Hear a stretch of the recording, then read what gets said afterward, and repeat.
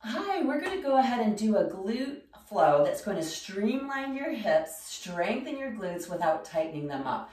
So we're going to be using the Mini Max, and I find it most comfortable to do this from the rounded end. So you're going to go ahead and lie down with your pelvis on top, stack your hands on top of one another, elbows are wide. And so then you want to make sure that your um, uh, toes are touching the mat um, and they feel light so that when I lift, the work goes into my glute. If I'm further back, it's going to go into my back and my shoulders come up. So just find your position where your legs feel light, um, but your feet are still down. Elbows wide, no tension in neck and shoulders. Tummy in. Single leg extension. We're going to lift the leg, pause, reach that leg longer, squeeze the front thigh to make sure your uh, knee is not bending. So we lift, pause, reach that leg long. So that's going to be a continual thought that we're going to be doing through this workout. Meaning every time that you lift that leg, you're going to try to reach from the hip through the straight knee and out through the toe. So we're really going to have that intention of length, and that's going to help us streamline our hips. Very good. The other thing is you want to really make sure here that your knee is straight by squeezing your thigh, because sometimes the hamstring wants to work over the glute, right? And so when you get up here and then your knee is softly bent, and then if you find that you can straighten it, you're doing too much hamstring. Try to keep that leg straight as you lift and as you lower. Now we're going to double the fun and lift both legs. Relax your neck and face and then lower down. So you lift, squeeze those thighs, reach those legs long, and then bring it back down. Focus that work in your glutes, squeeze your thighs, abs are in, legs long, and lift and reach. That's got to be your intention throughout this workout. My legs are open and they're still turned out. Very good. We're going to do four more and then we're going to keep our legs lifted and go into a heel squeeze position and then release. So that's three. And let's just have two.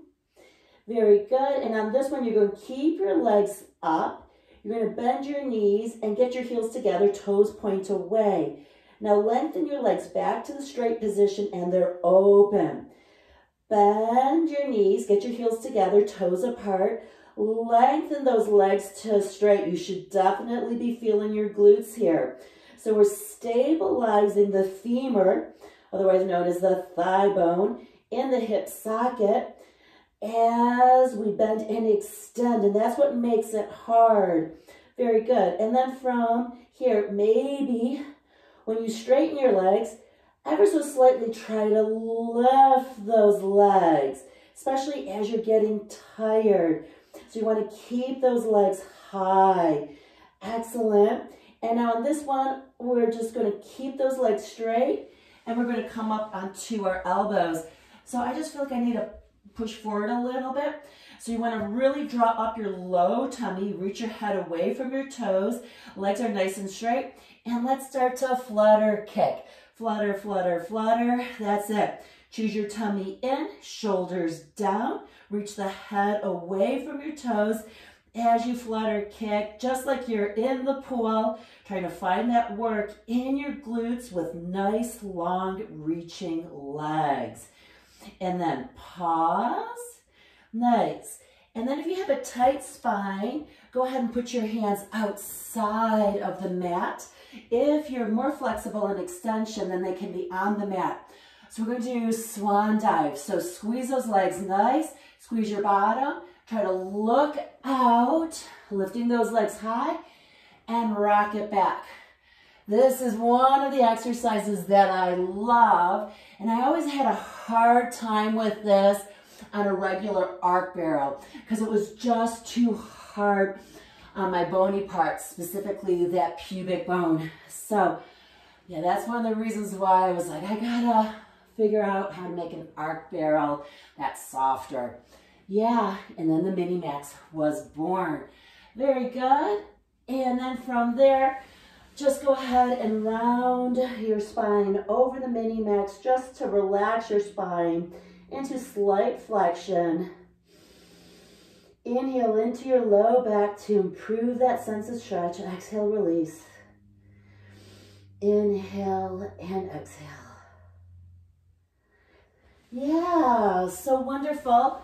I hope you like that really quick targeted flow with the Mini Max. Please spread the word. I appreciate all your support. See ya.